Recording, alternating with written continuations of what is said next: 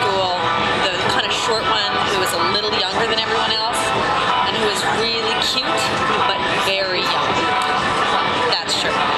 The boy who, now that you look back, you think, I wish I dated